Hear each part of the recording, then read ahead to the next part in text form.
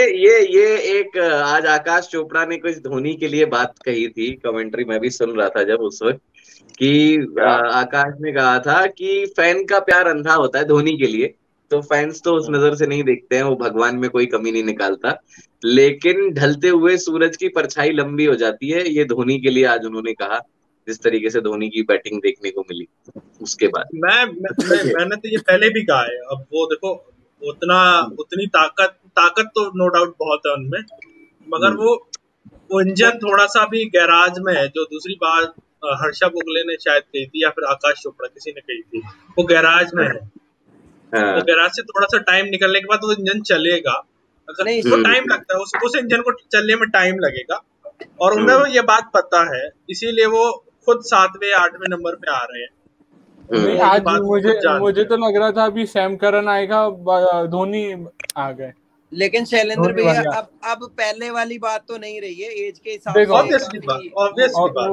वो पहले वाली बात तो नहीं रही। मगर फिटनेस आप देख रहे हो मतलब वो रनिंग वगैरह भी देख रहे हो वो तो पूरी एकदम वैसी की वैसी रखी है। नहीं तो ये हाँ। इस एज में लोग फूलने यानी कि हाथ फूलने लगती है लेकिन आदित्य ये भी है ना कि जो धोनी हमेशा जब भी बैटिंग आता है उस टाइम सिचुएशन भी थोड़ी खराब ही होती है सीएसके की तभी प्रेशर भी होता है यार वो तो जिस ऑर्डर। पे आते हैं धोनी अगर धोनी खेलने आए मतलब सिचुएशन खराब ही है। हाँ। तो भैया फिर थोड़ा प्रेशर भी है एज भी है सब चीज़ें बैट पे बॉल कनेक्ट नहीं होती अच्छी तरह बैट पे तो इससे भी होता है कि नहीं और और अब अब बॉलर्स ने उनके खिलाफ स्ट्रेटेजी बना के आते हैं बेसिकली हाँ।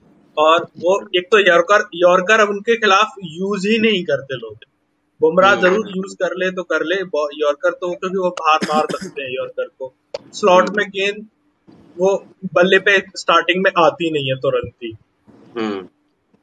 और दूसरा वो स्लोअर वन स्पिनर वो थोड़ा सा क्योंकि क्योंकि अब इतना लंबा पीरियड हो जा पीरियड हो जाता है आपके आपका जब खेलते हो आप तो बॉलर्स और वो सब लोग टीम्स स्पेशली प्लान बना के आती है धोनी के लिए। ऐसा नहीं है कि वो प्लान बना के नहीं हाँ। आती।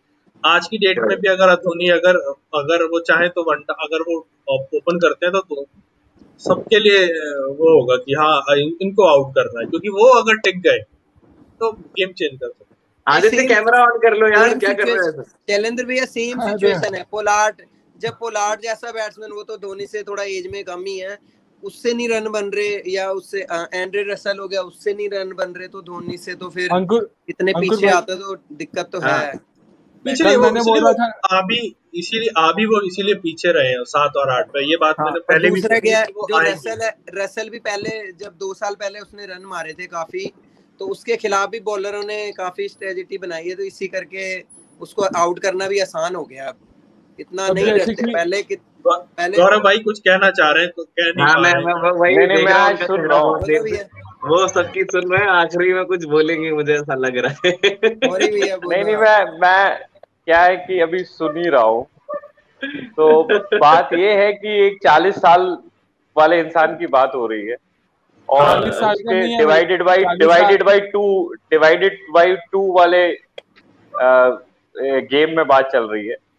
So he's playing since 2008 for CSK and this is 2021. Definitely decades type hmm. के पूरी चीज़ें बदल गई हैं। 200 मैच वो खेल चुके हैं।